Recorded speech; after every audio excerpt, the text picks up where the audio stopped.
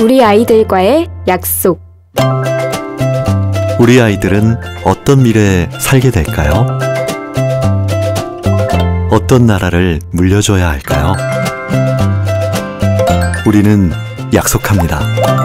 4대 개혁은 우리 사회를 건강하게 만들고 새로운 미래를 열어가기 위해 더 이상 미룰 수 없는 과제입니다.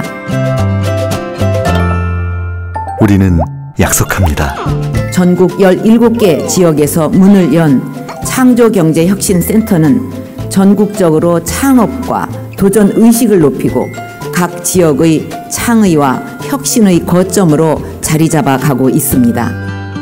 우리는 약속합니다. 세계 최초로 원조를 받던 나라에서 원조를 주는 나라가 된 자랑스러운 나라입니다. 우리 아이들의 미래를 위해